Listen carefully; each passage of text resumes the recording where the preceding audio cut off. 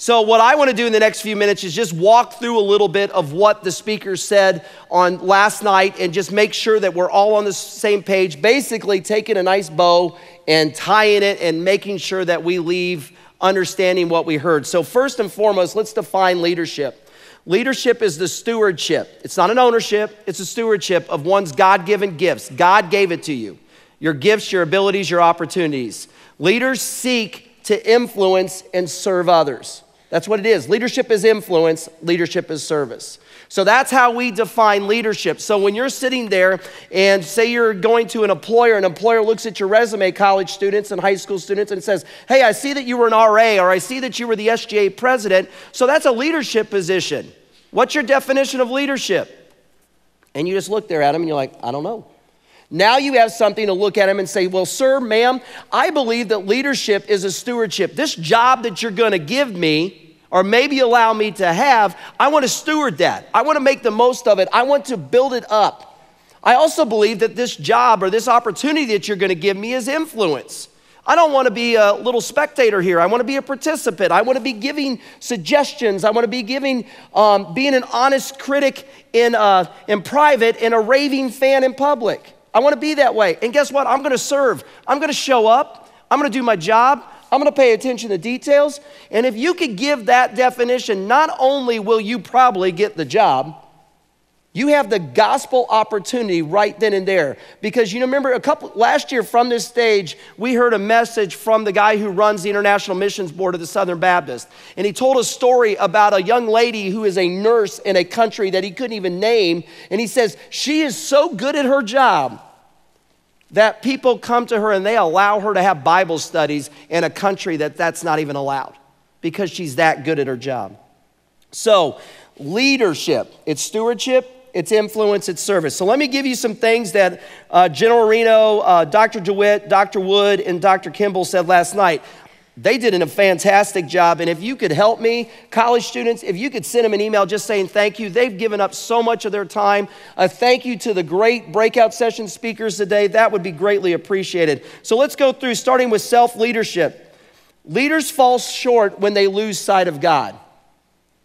So, if you're going to be a leader, which I believe you are, and you don't keep your eyes on God, you're going to fall short. Leaders take things up the chain of command, not down the chain of command. When you hear a three star general say that, you're like, okay, I get it. He's done it. He understands that. One of the things about General Reno, he's one of the most humble men I've ever met in my life. And he said this leaders get on their knees. Don't stop praying. Don't stop praying. Dr. DeWitt was talking about who is influencing you, and he said this invest your life. Your life is a gift from God. He said this who, will, who you allow to influence you will set the trajectory of your life. If you're hanging out with losers, you can't expect to be a great person. All right, so stop hanging out with the people you shouldn't hang out with. I got a 10 year old son now, and he's got a couple friends at school that he talks about. Man, they make fun of the teacher, they do this, they're mean to me. And I look at him, I go, Keegan, why are you hanging out with them? I don't know. I'm like, stop hanging out with people that are mean. He, he, came home the other day in tears. He said, Somebody called me mean the other day. I go, who'd you, who'd you hang out with on the playground? Well, these two kids. And like, well, dude, you're hanging out with mean people. Of course they're going to think you're mean. I go, there's other good people there. Who you allow to influence you sets that trajectory. And, and Dr. DeWitt really did this, and he redefined mentor last night, remember? So I'm sure he's put that into a, uh, to Star Wars or wherever he's going to go. Um, a mentor is an investment advisor. My dad's a financial planner, a financial advisor, and he looks at everybody's money and does all that stuff. But a mentor is an investment advisor. So lean in, listen up, look out. Then you go to what Dr. Wood talked about in team leadership, and he gave us those three things. Number one, a team leader, people who are willing to lead. Sometimes you will not be sitting in the boss's chair, but there could come a time that the boss gets sick and you are called on to be the boss or the captain or the leader. Are you willing to lead? Are you ready to lead? He talked about healthy teams. I know Parker, our SGA chaplain, talked about the, the uh, 1980 hockey team None of you were alive. I get that. I'm okay with that. I was seven years old, and my dad allowed me to watch the night, stay up and watch the Olympic finals, the 1980 hockey team, The Miracle on Ice. It's a Disney movie. And Herb Brooks, who was the coach there, was trying to take this team and make them into a team. And at the beginning, he picks this team, and the people who are around him go, What is wrong with you, dude? There's not a, the good players aren't on here. And he said this comment I'm not looking for the good players, I'm looking for the right players. And then he kept them going, and they weren't learning. And there was a game overseas, and they just weren't getting it. And in the movie, it's perfect. He gets them on the line. They had just tied a, a, um, a, team that they should have beat, and he gets them on the line and he makes them skate and skate and skate and skate and skate and skate. And at the end, they're all about ready to die. And one of the guys is, he says, he gets ready to say again, and the guy looks at him. He says, Okay, my name is this. Who do you play for? They used to say, Well, I used to play for the University of Minnesota or University of Boston or the University of Massachusetts. And he goes, I play for the USA. And what he was trying to get to is the name on the front of the jersey is a lot more important than the name on the back. The idea that identity, your identity in the team, needs to be greater than your personality and your skills. You are not all in all. Can I tell you something? If you're on a team, the team could survive without you. Well, I'm the best player. The team would survive without you. Cedarville would survive without me. Realize that, understand that. What makes a healthy team? John said this clear communication, trusting environment, healthy conflict. None of us like to fight, but why not? Why do we always have to agree just to be peaceful? We can disagree, we can have fights in private, and we can have good opinions so we can serve better as a team. Commitment to unity and accountability. I put down we need to be real. The world needs healthy teams, not just teams that exist. So if you're going to be on a team, be on a healthy team. And then John ended with a team member. Be a team member, not just a member of a team. Do you get the difference? Be a team member, be a team player, not just somebody that's on the team. Are you there for the team or is the team are you or are you there just to get something out of the team? Is it like I'm on this team, I want to be part of SGA, I want to be part of the RA group, I want to be a I want to be on SCAB, I want to be whatever you want to be, I want to be a CEO one day. Are you there because what you can get or what you can give? Characteristics of a team member they're humble, they're hardworking, and they're helpful. Dr. Kimball end with Who Are You Influencing? Uh, his book, J. Oswald Sanders, Spiritual Leadership. If you've not read it, I encourage you to read it. It says leadership is influence, nothing more, nothing less. It's all about influence, it's not a position. Dr. Kimball said this, and it was really convicting. If your abilities outpace your character, you will not be in leadership. Then he gave us these five things about influencing others share God's word, share your life, exhibit sacrificial love. Not just when it's easy to love somebody, love people that it's hard to love. Have good character. He actually said exemplary character. And then have courage. So when I heard all that stuff last night and I found out that, okay, I got to wrap this up, I said, okay, those are some great things, but now how do we do it? How do we lead? Can I give you something? I'm going to give you a common purpose or a rally cry. John Wood mentioned the movie Hoosiers. I grew up in Indiana. I love the movie Hoosiers. I grew up in a small town, went to a small Christian high school, actually played on a basketball team, 12th guy on the basketball team, but I played on that basketball team. And that basketball team won the national championship my senior year. If you're here from Brownsburg, Indiana, I went to Bethesda Christian. And so I, my team won that tournament, and I think I got in for 30 seconds, but I got in the game. So I, am a national champion. I feel pretty good about that. Um, but you know, one thing about the movie Hoosiers, he mentioned the movie Rudy. I also love Notre Dame football. You know why I love Notre Dame football? Because Indiana can't play football. We stink. My dad walked on the Indiana football team, and he loves Indiana football, and they still stink. I don't know why I told you that. Nobody tell my dad that I told him his team stinks. But one thing about Notre Dame football, it's all about tradition. If you've ever seen the movie Hoosier, they walk down the tunnel, there's a sign, play like a champion today, they smack it. They walk down another part of the tunnel, they smack the sign again. It's all about tradition. They know what they're going to do. So I want to give you this about how to live out what we've just heard, and it's called own it. How can you own it? So, when it comes to stewardship, how can you own it? Let me give you these few things open to change and growth. Never, never, never stop learning. Don't stop learning. I'm 43 years old and I feel, feel like I learned more today than I did when I was a kid. I was a terrible college student. I don't know how in the world Cedarville hired me. If they looked at my transcript now, they'd be like, What? You're in higher education? When I got into my master's work, I had to write a letter saying, Hey, I'm not as dumb as my transcripts really say I am. I can do the work. Never stop learning. The W, wrestle with ideas and concepts. It means this I think it means to think, to dream, to seek clarity, meaning don't wait for things to be clear. If your boss or your parents or people are not clear, it's not up to them to pro- provide all this clarity for you. It is your job to say, I don't understand. Help me understand this. When my staff comes in and goes, Brian, I know you made this decision. I get it, but I don't understand it. Can we talk about it? I appreciate that. I don't want just yes people. I want people who seek clarity. So wrestle with ideas and concepts. Never compromise the important. I put this down, and this comes from what we heard last night God's holiness, your integrity. If you violate your integrity, it, it's impossible to get it back.